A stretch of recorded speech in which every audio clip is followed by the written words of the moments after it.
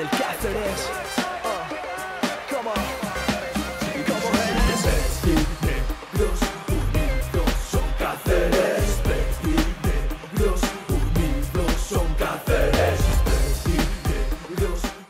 Bueno, eh, una semana diferente en el sentido de que ya estábamos acostumbrados a jugar domingos y teníamos semanas muy largas.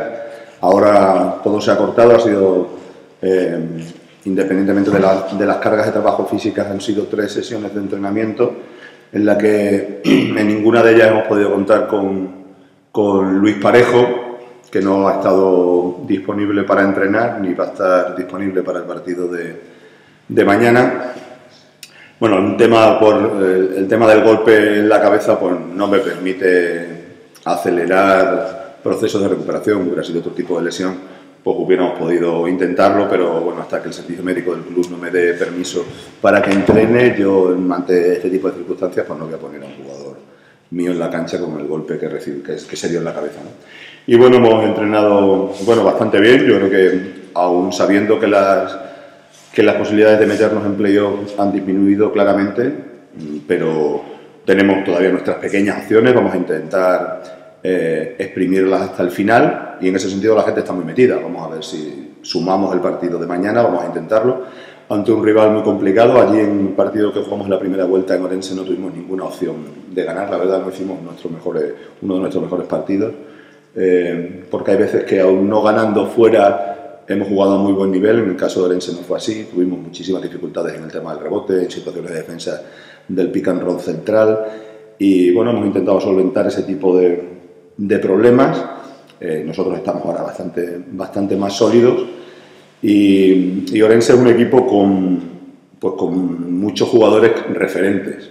Eh, desde el puesto de base con Cristian Díaz, que es un jugador muy creativo, en el uno contra uno, excelente tirador, muy buena lectura del bloqueo directo, no solo para, para pasar a grande, sino para triangular, sobre todo con jugadores contrarios al, a la dirección del bloque directo, con una clarísima referencia ofensiva interior que es Frank Guerra, que es uno de los grandes que está dominando la liga, con la experiencia de Dimitri Flick jugando al 4 que por su versatilidad se hace un jugador muy peligroso, capaz de jugar de, eh, cerca del aro, pero también eh, de, de, de, fuera adentro, con excelentes tiradores, excelentes, de los mejores de la, de la liga, Mitrovic, Capellan, eh, la garra en el rebote de, de Wright, bueno, pivos grandes como Yuki, o sea, son una plantilla, pues, está, ahora mismo está en playoff y es por méritos propios, un, un, excelente, un excelente equipo y vamos a intentar pues estar a nuestro nivel en casa, jugar muy duros atrás.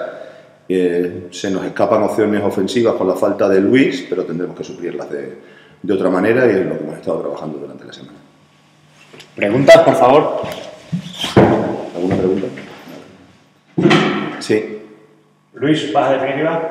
Sí, sí, yo en, en, con un golpe así, nos, hasta que el cuerpo médico no me diga que puede entrar a entrenar, no, no quiero asumir ningún tipo de riesgo y como no ha sido el caso, vamos a esperar un poquito a que, que, pase un, que pasen unos días y todo esté más tranquilo y tengamos la seguridad de que va a poder entrenar y que no le va a pasar absolutamente nada. Decías que ayer no tuvimos opción. Eh, ¿Te preocupa principalmente dos cosas? Su tiro exterior con Mitrovic y con Capellan y sobre todo la conexión Cristian Díaz Franquerra, que allí sí que verdad que hizo trabajo. Sí, nosotros tuvimos problemas para defender, como he dicho, las situaciones de bloqueo directos centrales.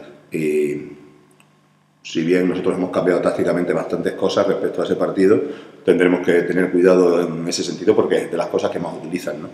Y, tienen muchos recursos ofensivos en situaciones de, medio campo porque muchos de esos jugadores tienen puntos en sus manos. Y bueno, vamos a tener que plantear un partido físico. Eh, con ritmo, son jugadores muy dinámicos, eh, intentan, eh, saben jugar sin balón y buscan ese tipo de situaciones y es lo que hemos estado trabajando durante la semana.